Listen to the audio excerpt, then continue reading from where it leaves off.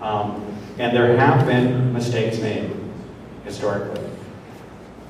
The state tested wells in the Cotton Flat neighborhood in February 2006. And at that time, there was 2,600 parts on County Road 112. And you were not notified. Why not? That was, I don't know. Exactly. There was an error, there was an error made. It's no longer rumor. I represented this morning, I had not seen the evidence. I have officially seen the evidence, and the mistake was made. There was 2,600 parts of Chrome 6 on County Road 112. So for three years now, the exposure has been ongoing. If there were 2,600 parts of Chrome 6 in February 2006 on County Road 12, I will submit to you, as there's 239 parts down on County Road 118, it didn't show up overnight. It crept up to 2,600 parts.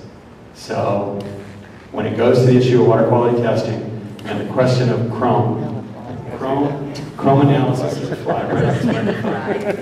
Um, The good news is, is when they test for Chrome, they test for Chrome 6 and Chrome 3, because the tests that they run, if you just go in and say, I want a Chrome test, they run total Chrome. So they'll pick up all the species. That's a good thing. The bad thing is, what I, was they tested, and the results said 2.62 milligrams per liter. And the state standard is 100 parts per billion. And they went, oh, 2.6 is less than 100 they were uh, magnitudes off. And so it went, it went unexposed for an additional three years. So be very, very careful. Additional water quality testing is going to be done. We're going to do the $4,000 test on a couple of the wells in the neighborhood. The state's actually started their increased analysis because they're trying to discover what's causing the breakthrough of the medium. And the way that they're doing the discovery is by doing a, a better mass balance of the water. Something else is basically taking the place of the chrome six. They basically they've told the the uh, the resin in those vessels, go out and get chrome six, suck up the chrome six. But there's other chemicals in your water that's going me first, me first, and they're clogging it up, and the chrome six is breaking through. So the state's doing additional water quality testing. Um, I, I would tell you that the amount of time I've seen them in the field, the amount of laboratory analysis that they've done, and, and I know you're probably going to go, oh, no, no, no. But I will represent to you that the amount of work I've seen them do and the consultants that they've hired, the state of Texas has probably spent in excess of a million dollars on you guys already. Whether you're happy with the results or not, my mind is telling me they've probably exceeded a million dollars on your behalf. So they're doing what they're doing and what they're capable of doing as fast as they can do it. But we're here to help. And we're on your side. We're going to speed it up.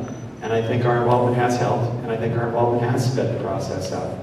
And we're not going to stop here. We are, we are going and going and going. And, uh, you know, we, we're working with the local counsel, um, a local lawyer here in Texas who we, we like very much. Um, and, and we're really, you know, we've done a lot in three weeks, guys. A lot in three weeks. So, next question.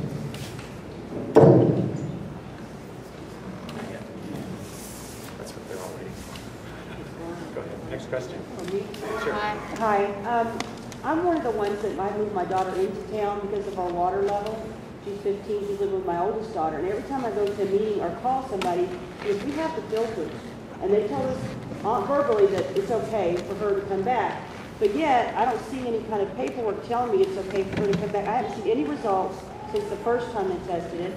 My husband went about a week ago to change the two little filters that come with the big one, and the first, the, the third filter was almost a dark, dark brown, and the fourth filter was like a slime.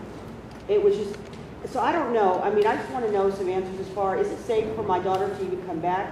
Because I know it's been there for years, but as a mother, it's hard for me to tell her, come on back in and take a shower, but I'm not getting any straight answers. Is that normal for them? I mean, I just don't know. Nobody's giving me any answers with my water, any results or anything. Well, it, that's a good question. Bob might be able to answer, and I can answer it to you in a couple of ways. I mean, that's, your call as a mother, I mean, I sat here today and as we did the water coming out of the wells and it splashed, I noticed numerous people would kind of jump back. Well, I'm like, imagine how they feel. So it is concerning. I mean, we've seen different scenarios where the contamination, they just come out and fly the houses up. I mean, PG&E is still doing that today. This original contamination in Hinkley hit in the 60s. It's 2009, and they're still out ahead of the flume buying up homes. They just bought up 12 last year. That may be a process that, that could happen here. We don't know yet. I don't think the state knows yet. And Suzie was talking with the state today. I mean, there's so many more homes now in this circumference that they're investigating. It'd be easy for me, you know, and I don't want to become jaded, to really get mad at state agencies, not only in the state of Texas, but everywhere. And they're oftentimes understaffed and underfunded, and they may not have the manpower. Now, it's going to be up to us, all of us, to demand from your state and your agencies that they get more manpower, they find the funding and get you some answers sooner than later, so you can make you know, informed decisions about whether you want to bring your child back home. I've seen the filters, we've done testing, there is breakthrough. The filters are a very funny color. In a matter of two days, they're disgusting. So it's a legitimate concern. So I offer you, as a mother, no scientific information here, doctor's opinion. If you are concerned, we know that there's a poison in your water, and you're not certain it's safe for your child, and she's in a place where she can shower and you're not concerned about it, I leave it that way until you have a solid answer regarding her safety. And I appreciate that, because I keep asking them, and I keep getting like, uh, different runarounds, or it's in the mail, it's in the mail, my husband's calling, it's in the mail. Okay, that's been weeks now, and I've never seen anything, and my daughter, she's fifteen, and it's more money for my s- husband and myself, because we've got to buy the food, the gas for, for my oldest daughter to take around, which is not a problem, but I want her home, you you know, and it's just, it's hard, and I'm not getting an answer. So, at least I'm not going crazy again. Sure. She's concerned about her 15-year-old daughter. She wants her home, she hasn't got a confirmed answer from the state yet, okay now? About whether the water is breaking through or not breaking through, or if it's safe. Um, So I was telling her, that until she has that, it would probably be best as a mother to a mother, if I had any concern, why take the chance? Well, that's what I was doing anyway, but it's kind of frustrating when we try to get some answers and we're not. Right. I mean, you keep telling us in the mail, Yeah. we'll see, we'll see. I'll, I'll go out on a bit of a limb, and I'm, this isn't the only limb I'm going to go out on tonight. Um, this is probably an easy one. I didn't tell anybody to leave, and I'm not going to tell anybody to come back, but what I can tell you is, um, I'm not confident in the filter systems today. Flat out. I discovered the first two breakthroughs. The state got on right away. They were very grateful that we got the information to them. They came out and investigated it. They were supposed to get those two filters changed. Um, one of them's being changed as we speak, and the other one hasn't shown up yet. But you know, she's basically posted somebody out there that hopefully they'll come and fix the other one.